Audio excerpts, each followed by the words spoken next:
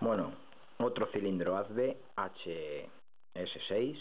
Esta es la llave. Aquí lo tengo abierto. Cuesta también muchísimo. Es complicado. No tenía por qué estar tan difícil, pero por la llave o lo que sea.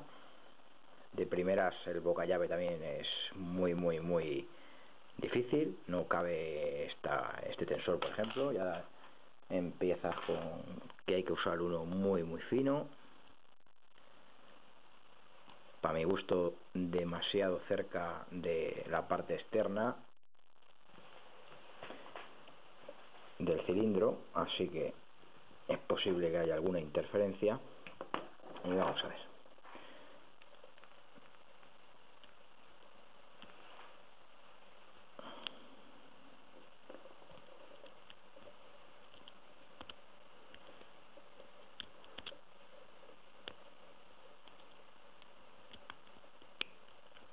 Ahí ha entrado otro.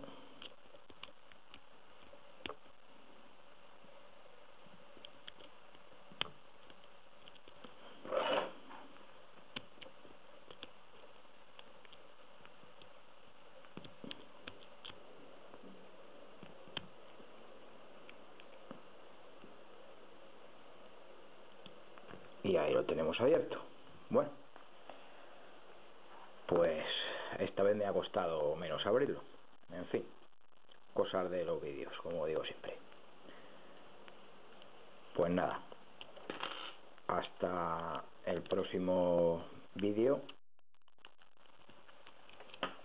y un saludo para todos.